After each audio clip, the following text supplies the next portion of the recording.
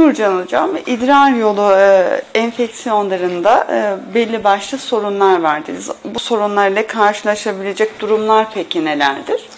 Ee, şimdi idrar yolu enfeksiyonu basit bir e, tedaviyle, basit bir antibiyotikle tedavi edilebilecek kadar kolayken eğer ki tedavi olmazsak böbrek kaybına kadar gidebilen, pielonefrit dediğimiz, yani böbrek enfeksiyonlarına kadar gidebilen, böbreği almaya kadar gidebilen çok ciddi sorunlara neden olabilir.